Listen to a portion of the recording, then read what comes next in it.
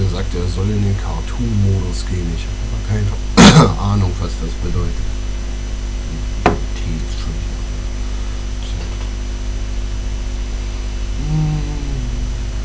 Eigentlich habe ich überhaupt nichts zu erzählen. Ich wollte bloß gucken, ob das jetzt wieder funktioniert.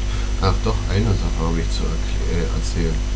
Ich habe ich gestern irgendwie meine Videocodecs mal abgedatet irgendwie. Ich benutze ja dieses äh, komische Carlite Codec Pack, was wahrscheinlich die meisten Leute benutzen, denn es ist kostenlos und damit kann man fast alles abspielen.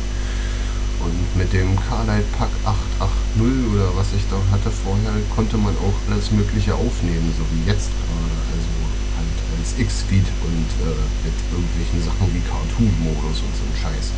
Auf jeden Fall habe ich es abgedatet gehabt zu Version 9.1 in der Hoffnung, dass das Ding dann irgendwie besser wird. Aber es wurde nicht besser, sondern beschissener.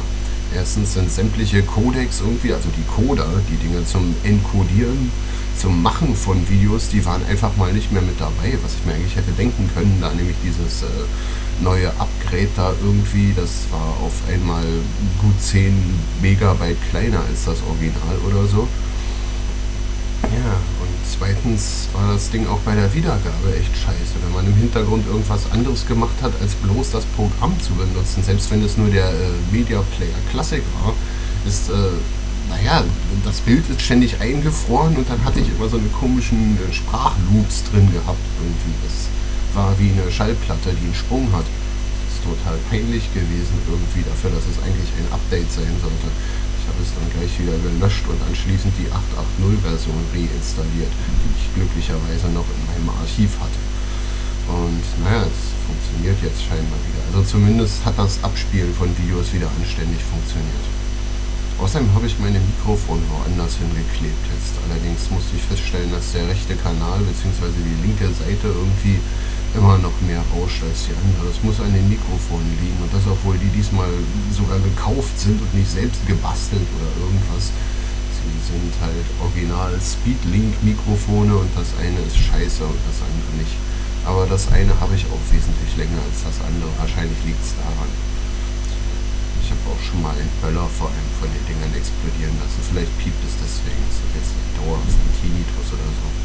Wenn ich irgendwann mal wieder Geld habe, dann werde ich mir vielleicht mal ein weiteres Mikrofon kaufen, falls sie denn überhaupt noch verkauft werden.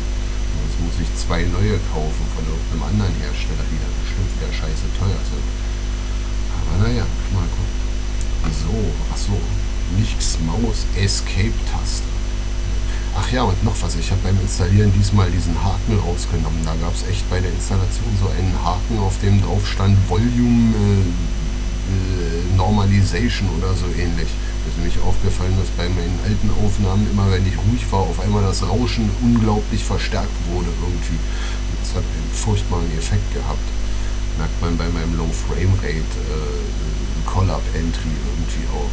Der ist scheiße gewesen vom Sound her.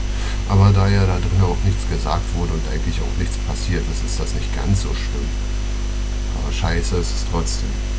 Naja gut, ich glaube, das Rauschen ist trotzdem jetzt, äh, also es wird nicht mehr verstärkt so ins Unendliche. Es ist halt einfach immer nur noch da und nervt. So, das war's. Mal gucken, ob das funktioniert.